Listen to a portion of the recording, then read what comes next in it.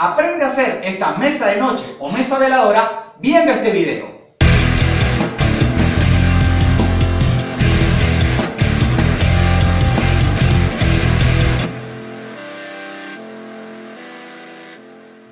Hola amigos adictos a la carpintería, están nuevamente en su canal favorito Carpintería Creativa Moderna por un servidor Domingo Freire. Si es primera vez que entras a este canal, te aconsejo de una vez que le dejas suscribirte. Además, le vas a dar me gusta, compartir y vas a comentar el video para ver qué te pareció al final cuando termines de verlo. Que seguro van a ser muy buenos tus comentarios, como otros que les agradezco a todos los suscriptores que me han dado ánimo y además me han dado su apoyo diciéndome que les han servido de mucho los tutoriales que han encontrado por acá. Quiero además que sepan que me pueden buscar en las redes sociales, sobre todo en el Instagram, si quieren conocer algo más de mi trabajo, como arroba grupo creativo DF.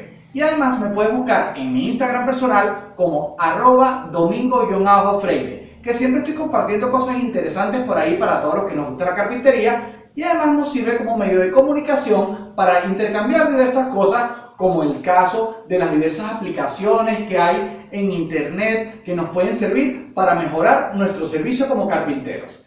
Sin más que hablar sobre esto, vamos a ingresar ya en lo que es la materia del proyecto del día de hoy, que se trata de una mesa de noche o lo que en algunos países la conocen como una mesa veladora, que es esa mesita que nos acompaña al lado de nuestras camas y que siempre nos sirve para dejar esos objetos muy personales antes de irnos a dormir, como son nuestros lentes, poner a cargar el celular y esas cositas que de verdad son muy útiles. Así que, sin más, vamos de una vez a la tabla de medidas.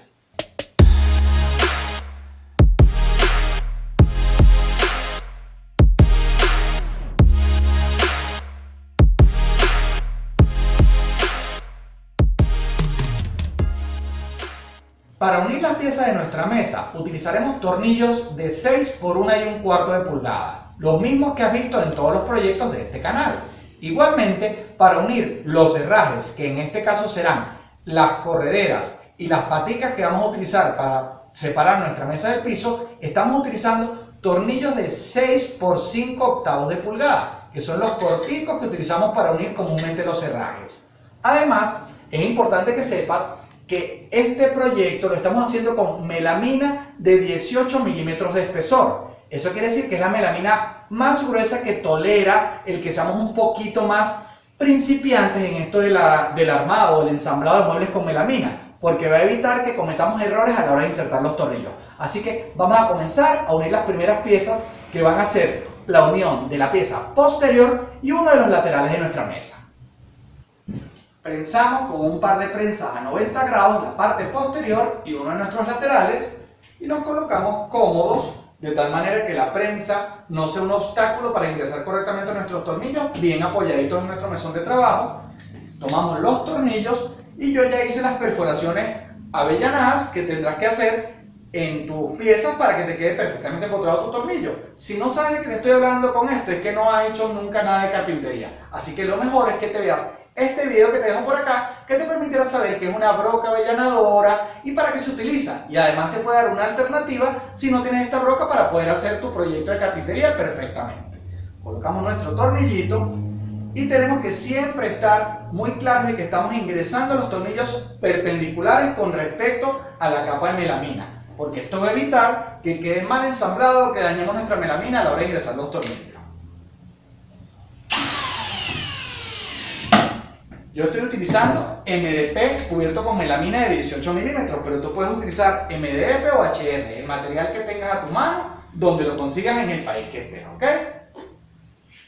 Ponemos nuestro segundo tornillo.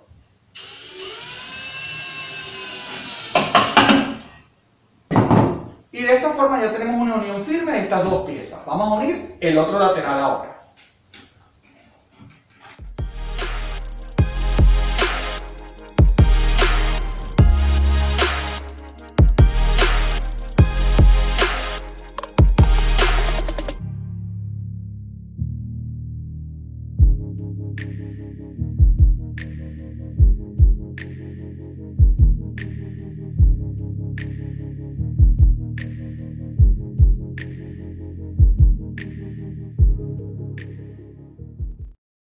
Está la estructura básica de nuestra mesa. Vamos a unir ahorita la pieza superior, que es la pieza cuadrada que tenemos tanto para la parte de arriba como para la parte de abajo. Vas a tomar la que más te guste y recuerda respetar el sentido de la beta. Yo estoy colocando de tal manera que la beta venga en los laterales y la continuemos en la parte superior. Además, coloqué cuatro perforaciones que me permitirán unir a las piezas laterales. Colocamos la pieza superior y lo más importante que tenemos que tener en cuenta acá es la unión al ras con el frente. Vamos a colocarla acá y nos vamos a ayudar con unas prensas a 90 grados, unas piezas de marquetería como esta, que son bastante fuertes para este trabajo. O sea que no te preocupes porque se llaman de marquetería. Para esto son más que suficientes. Las colocamos, nos aseguramos de una unión en ángulo recto y las apretamos.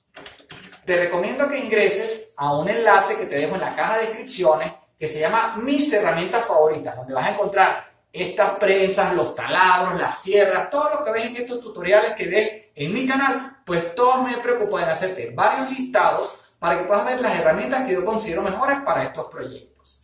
Además, quiero que conozcas unos diseños muy bonitos que he estado haciendo para todos los adictos a la carpintería como tú y como yo, que vas a encontrar, además de las típicas franelas, pues vas a encontrar los overols, los delantales, incluso foros para tu celular, que seguro te van a gustar los diseños que he creado para ti. procedemos a unir con las dos prensas.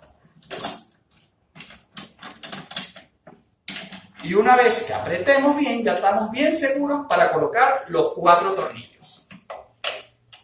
Es muy importante que sepas que aunque hayas inmovilizado en la parte delantera, debes asegurarte viendo tu parte lateral y asegurarte que esté al ras antes de ingresar los tornillitos. Una vez que verificas que esto esté correcto, vas a meter tus tornillos de manera perpendicular, lo más derechito que puedas. Primero despacio y luego aprietas bien para lograr una firme unión.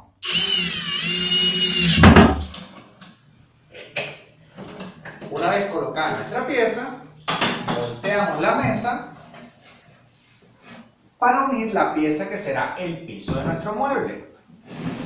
El procedimiento es prácticamente igual que para la pieza superior.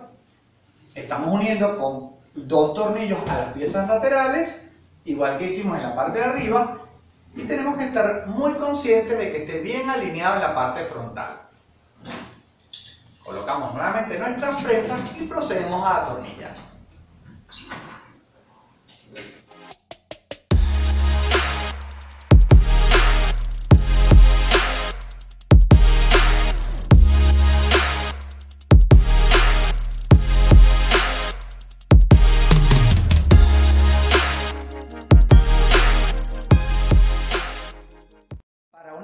Las paticas al piso de tu mueble, asegúrate que el tornillo no traspase la melamina. Coloca tu tornillo centrado en la patica plástica e ingresa los tornillos una vez que hayas tomado una medida para que te queden todas igualitas.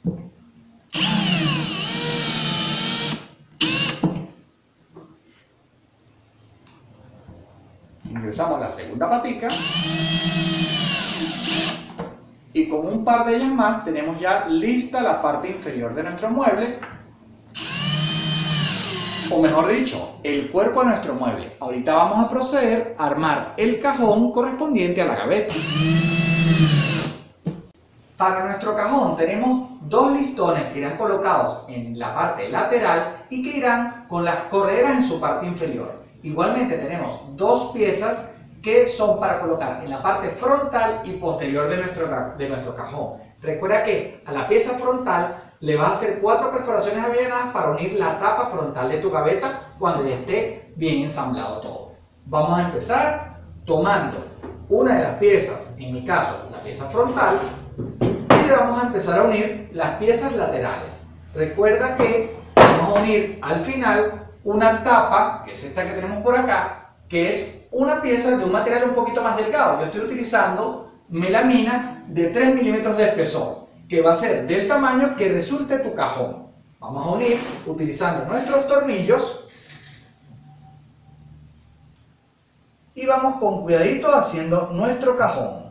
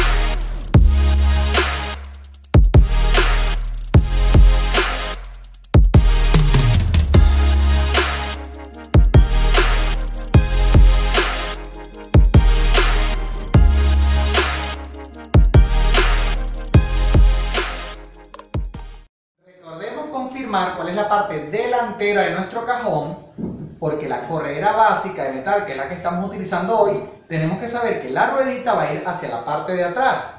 La vamos a colocar en un lateral y la vamos a unir utilizando los tornillos de 6 por 5 octavos de pulgada, lo que utilizamos para unir todos los herrajes de los proyectos que encuentras en este canal.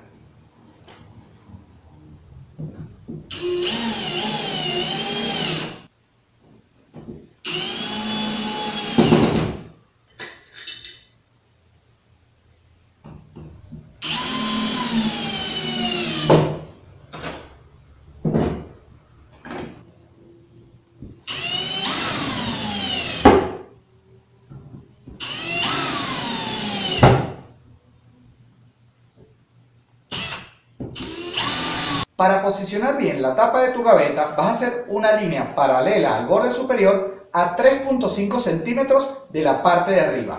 Ahí vas a colocar tu cajón y guiándote por esa línea y colocándolo de manera centrada, vamos a ayudarnos con unas prensas e ingresar unos tornillos que unirán el cajón a la tapa de nuestra gaveta.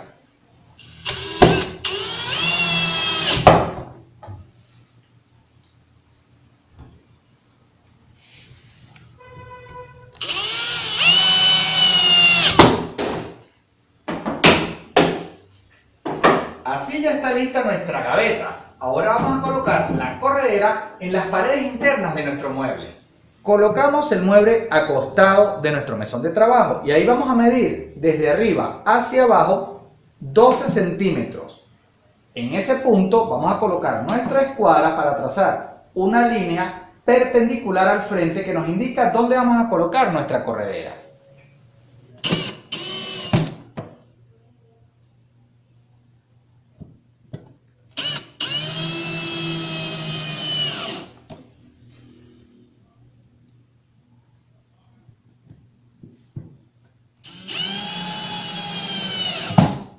Recuerda que para instalar tu corredera correctamente debes dejar 3 milímetros hacia atrás del frente de tu mueble. Una vez realizada la instalación, colocamos la corredera de la parte lateral de nuestra gaveta sobre la que está colocada en el cuerpo de nuestro mueble y la deslizamos comprobando que esté correcto todo lo que instalamos. Como ya terminamos nuestra mesa de noche, a ti lo que te queda es darle me gusta, compartir y comentar este video. Recuerda que soy Domingo Freire de Caracas, Venezuela. Aquí te dejo un par de sugerencias de carpintería y nos vemos en un próximo video.